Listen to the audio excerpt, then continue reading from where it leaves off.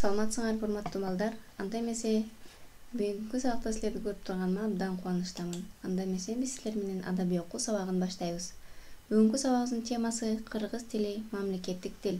Тамга үйрөттүм досума деген тамгаларды үйрөнөбүз темаларды өтөбүз. Демек балдар сабагыбыздын максаты бүгүнкү сабакта силер кыргыз тил мамлекеттик тил экенин билесиңер. Китеп окуу менен бирге эске сактооңор ой жүгүртүүңөр калыптанат жана кыргыз тилинде туура так көрктүү сүйлөөгө багыт аласыңар деп ишенемин балдар эне тилин сүйүү атуулдук парз улуттук сыймык кыргыздар сөз сүйлөгөн эл. Сен анын бир урпагы катары ошол сөздүн кудуретин түшүнүп баалап өзүңдөн кийинки муунга калтырышың керек. Ал үчүн сенин башкы милдетиң өз эне тилиңди мыктылап бил.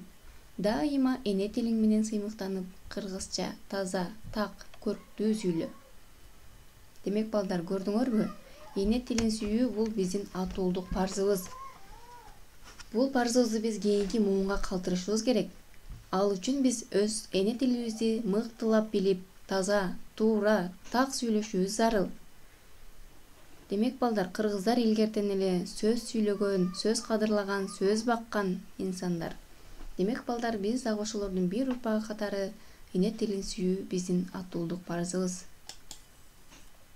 анда эмесе биздин бүгүнкү темабызды баштасак кыргыз тили мамлекеттик тил. Кыргызстан көп улуттуу өлкө. Анда кыргыз элинен сырткары орус казак өзбек тажик уйгур корей дунган немец жана башка түрдүү улуттагы элдер жашашат. Алар бири бири менен өз ара ынтымакта турушат. Мамлекеттик тил улуттардын ортосундагы байланыштын пикир алышуунун куралы. Эгерде кыргызстанда жашаган баардык улуттар мамлекеттик тилди мыкты үйрөнүп алышса баары тең орток тил катары кыргыз тилинде пикирлешип кайсы жерде болбосун бири бирин толук түшүнүп кете алышат. Мисалы транспортто соода саттыкта ооруканада же бейтапканаларда жана башка жерлерде да. Тил улуттар ортосундагы достуктун да тили. Канча тил билсең ошончо дил билесиң деген накыл кеп бар анын мааниси канча көп тил билсең ошончо адамдар менен пикир алышып мамиле түзүп алардын жан дүйнөсүн түшүнө аласың дегенди түшүндүрөт. Демек балдар көрдүңөрбү? Кыргызстан негизинен көп улуттуу өлкө экенин биз баарыбыз билебиз. Демек балдар ал ал өлкөлөрдүн ар биринин өзүнүн тили бар. Демек балдар алар кыргыз кыргыз мамлекетинде жашагандан кийин алар дагы кыргыз тилин билип алышса кайсыл жерде болбосун пикир алышып сүйлөшүү жеңил болот. Башка улуттар дагы биздин мамлекеттик тилди мыкты үйрөнүп алышса баары тең. Бири бири менен транспортто соода саттыкта ооруканада же башка жерлерде дагы бири бири менен сүйлөшүп пикир алышып кете алышат. Демек балдар тил бул улуттар ортосундагы достуктун да тили.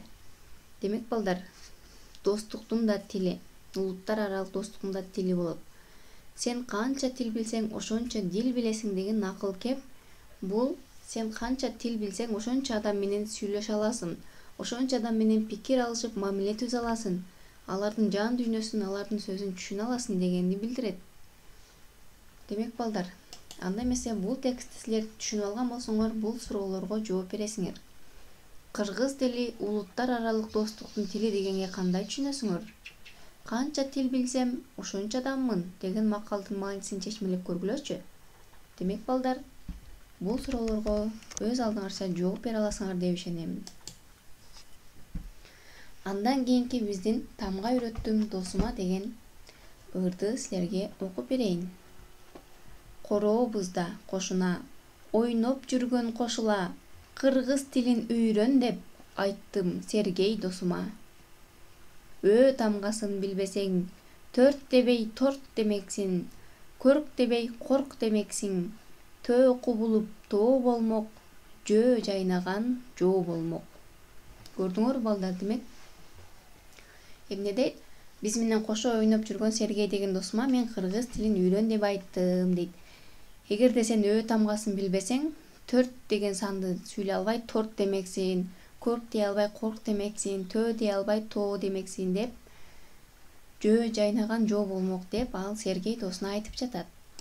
Улантабыз балдар үй тамгасын билбесең үй мөөрөгөн уй болмок күй деген сөз куй болмок түр деген сөз тур болмок көп сөздөн кыргыз кур болмок демек балдар көрдүңөрбү биздин үй тамгабызды дагы билбесек үй дей албай биз уй деп коймок экенбиз демек күй деген сөздү куй деп демек балдар ө ү ың тамгалар жок болсо кыргыздар көп сөздөн кур болмок дейт ың тамгасы жок болсо чың дебей чын демекпиз миң дебей мин демекпиз мең дебей мен демекпиз кең дебей кен демекпиз кыскасы кыргыз тилинде тамгабыз жок керексиз демек балдар көрдүңөрбү биздин ө ү ың тамгалары жана алар катышкан сөздөр жөнүндө сергей досуна үйрөтүп бергенин. Демек балдар силер дагы өзүңөрдүн ошондой башка улуттагы досуңар болсо аларга да ушундай кыргыз тамгасын үйрөтүшүңөрдү каалайм. Айткан сайын күймөлүп ө ү ың тамга кездештүү сөздөрдү көп сүйлөдүк ал сөздөрдү сергей дос алды бачым үйрөнүп. Демек көрдүңөрбү балдар?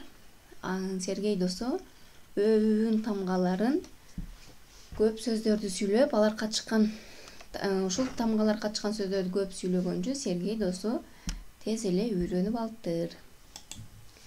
Демек балдар ушуну менен биздин сабагыбыз аяктады. Силерге тапшырма.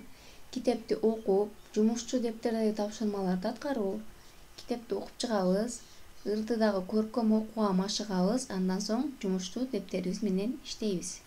Баарыңарга ийгилик каалайм